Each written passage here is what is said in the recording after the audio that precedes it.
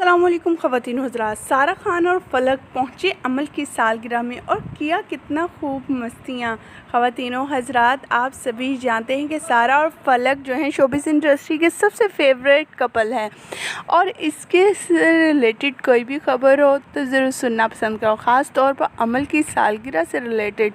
अमल की सालगिरह पर बेशुमार सेलिब्रिटीज़ आए, लेकिन उनमें सारा और फलक ज़्यादा प्रोमिनेंट हुए, क्योंकि ये ज़्यादा मस्तियाँ करते हुए दिखाई दिए। आज दिखाएँगे, आज आपको इस वीडियो में उनकी मस्तियाँ, उनके अमल की सालगिरह पर कैसे एंजॉय किया। तो मेरे साथ रहिएगा वीडियो को लास्ट तक देखिएगा, लेकिन उससे पहले आप सभी से दरख्वास्त करते हैं कि हमारे चैनल को सब्सक्राइब कर लें। साथ में बेल आइकॉन को प्रेस कर दें ताकि शोबे से आने वाली नई अपडेट आपको सबसे पहले मिल सके।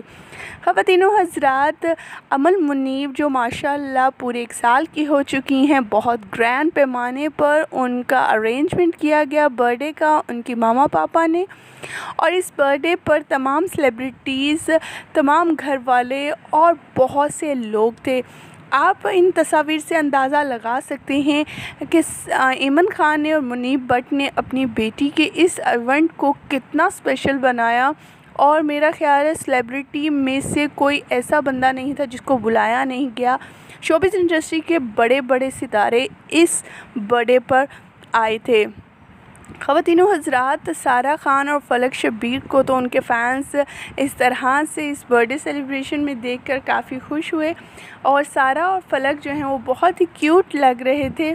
सारा और फलक एक एक ऐसा कपल है जो शोबिस की रौनक बढ़ा देता है। कहीं भी जाते हैं, वहाँ की रौनक बढ़ा देता है। और ख़ास तौर पर अगर अमल की सालगिरह की बात हो तो अमल की तो माशाल्लाह वैसे ही सब दीवाने हैं। और सारा ख़ान के भी तो दोनों जब एक ही जगह मौजूद हों और एक ही जगह मौजूद हैं तो फिर तो उस जगह के वो चार चाँद लग ही जाते हैं। ख़वान हजरात, आप कमेंट सेक्शन में ज़रूर बताइएगा, आपको सारा खान का अमल मुनीब की सालगिरह पे इस तरह आना और इस तरह से इंजॉय करना कैसा लगा? कमेंट सेक्शन में ज़रूर अपनी कीमती राय से आगा कीजिएगा। इसके साथ ही मुझे दीजिएगा इजाज़त। शोभी से आने वाली नई अपडेट तक, तब तक के लिए अल्लाह ने के बाद।